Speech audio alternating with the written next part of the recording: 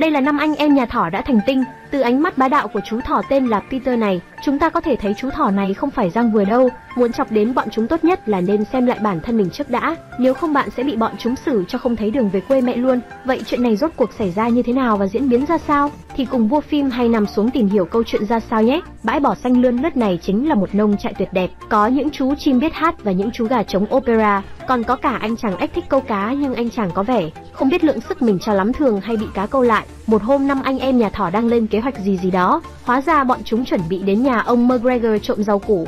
Sao bầy thỏ lại chỉ thích đến nhà của ông MC Gregor cơ chứ? Hóa ra nhiều năm trước cha thỏ từng đến vườn của ông McGregor mượn chút rau củ, kết quả bị ông ấy đánh chết, thậm chí còn làm thịt và bị đưa lên bàn ăn, cuối cùng chỉ để lại một chiếc áo khoác màu xanh lại.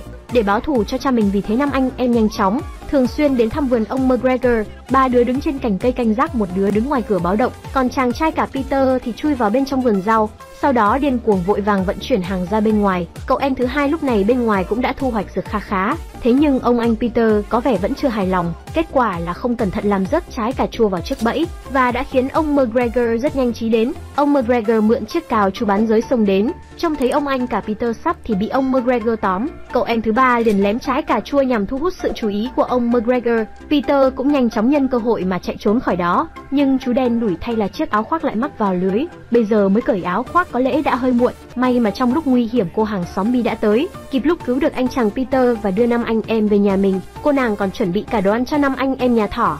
Đi là một họa sĩ nghiệp dư nhưng bức họa mà cô ấy vẽ phải nói thế nào nhỉ? Nói chung là hơi khó hiểu khi mấy anh em đang chuẩn bị về nhà thì Peter nhìn thấy chiếc áo khoác của mình bị ông ta dùng làm chiếc lợi phẩm. Đây là di vật duy nhất mà cha chú để lại cho anh, nên Peter đã hoàn toàn không do dự mà xông vào vườn lấy lại chiếc áo khoác. Nhưng chú đã trúng kế của ông McGregor và bị ông McGregor tóm gọn. Nhưng không ngờ ông MC Gregor vì vui mừng quá độ mà khiến bệnh tim tái phát và thế là ông MC Gregor ra đi. Cậu cháu trai Thomas ngẫu nhiên trở thành người thừa kế, không còn ông MC Gregor nông trại trở thành thiên đường của các loài. Chúng không chỉ chiếm lấy vườn rau củ mà còn chiếm luôn cả căn nhà.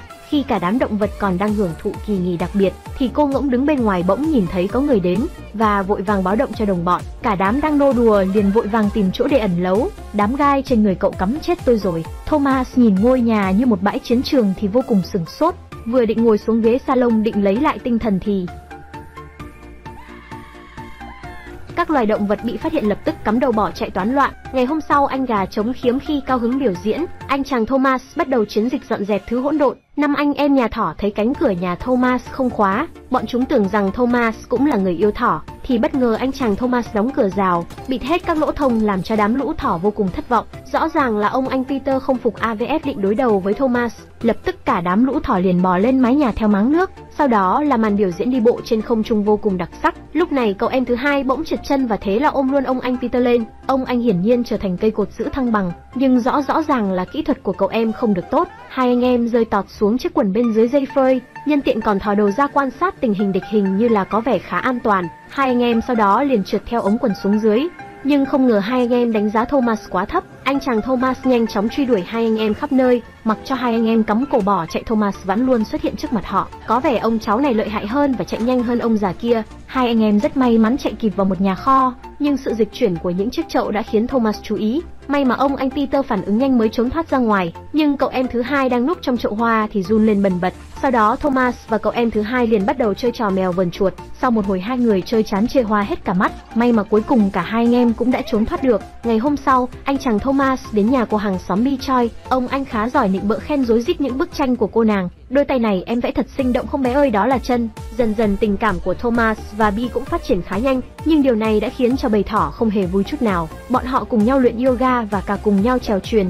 Điều quá đáng hơn là khi trời mưa còn nhốt bầy thỏ ở bên ngoài, khiến cho bộ lông của năm anh em đều bị ướt hết cả rồi. Peter trông thấy cô nàng Bi lau tóc cho anh chàng Thomas, ông anh Peter càng cảm thấy ghen tị và nổi điên hơn nữa. Trước đây cô nàng Bi toàn lau lông cho bọn chúng, điều này đã khiến cái đầu lạnh của anh chàng Peter không nhịn nổi nữa. Lập tức anh chàng liền đạp tung cánh cửa xong nào, vừa định nhảy lên tung cướp thì bị cô nàng Bi ôm trọn trước mặt Bi. Anh chàng Thomas cũng tỏ ra là một người vô cùng yêu thỏ, nhưng khi cô nàng vừa đi khỏi thì anh chàng lật mặt nhanh chóng, cả hai liền lập tức ra tay không thương tiếc với đối phương. Thomas đang định ném Peter ra ngoài thì rất may cô nàng Bi lại đến. Thế là hai người lại phút chốc tỏ ra vô cùng thân thiện với nhau, nhưng đến khi cô nàng vừa đi khuất thì cuộc chiến lại bắt đầu diễn ra.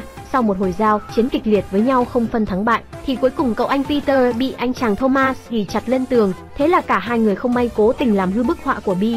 Vừa hay lúc này cô nàng Bi cũng đã đến vậy là Peter liền bị hàm oan, cô nàng tức giận liền lập tức đuổi cậu anh Peter ra khỏi nhà, nhìn gương mặt nham hiểm đắc ý tột cùng của anh chàng Thomas, thì là năm anh em nhà thỏ quyết định trả thù hắn chết chắc rồi. Bảy năm anh em nhà thỏ lúc này đang cố gắng tập luyện điên cuồng, trời bắt đầu vào hưởng sáng là cả đám anh em tập chạy bộ, sau đó là bài tập cơ tay năm anh em thỏ ngày càng trở lên lợi hại, rất nhanh chóng đã đạt đến cảnh giới thương thừa trăm phát trăm chúng. Một hôm anh chàng Thomas còn chưa thức giấc, nhưng năm anh em nhà thỏ thì đã chờ anh ta từ chiều hôm qua. Màn trả thù từng bước chính thức được bắt đầu. Trước tiên là kẹp tay phải tiếp theo là đến tay trái. Anh chàng Thomas vừa định xuống giường thì ngay lập tức liền dẫm ngay vào những chiếc xào khiến anh choáng hết cả mặt. Đến khi anh chàng ngồi thì ăn ngay mấy cái bẫy dính khiến anh kêu la lớn. Thomas trông thấy năm anh em nhà thỏ chuẩn bị chạy trốn, anh chàng Thomas nhanh chóng vội vàng đuổi theo bọn chúng. Không may trượt một phát thế là được ngồi xe dung tự chế. Chao ôi cảm giác đó thật là phê hết mức. Ngày hôm sau, anh chàng Thomas quyết định làm một chiếc bẫy bằng điện. Đã thế lại còn chít một lớp bơ đậu phộng lên những sợi dây. Nhưng đương nhiên là năm anh em nhà thỏ không mắc mưu. Lập tức bọn chúng lặng lẽ thay đổi chiến thuật đường đi của dây điện. Sau đó nhanh chóng năm anh em đến trước chiếc bẫy của Thomas, giả vừa như là mình bị điện giật giả chết để cho Thomas vui mừng. Anh chàng Thomas vội vàng chạy ra để xem chiến lợi phẩm của mình, kết quả ngay lập bị điện giật văng cả người anh ra ngoài. Anh chàng lần này thông minh hơn liền chuyển sang cánh cửa khác ai ngờ. Bực bội không còn cách nào Thomas đành phải đi lên mái nhà, anh chàng còn cẩn thận thử tay nắm cánh cửa trước khi mở.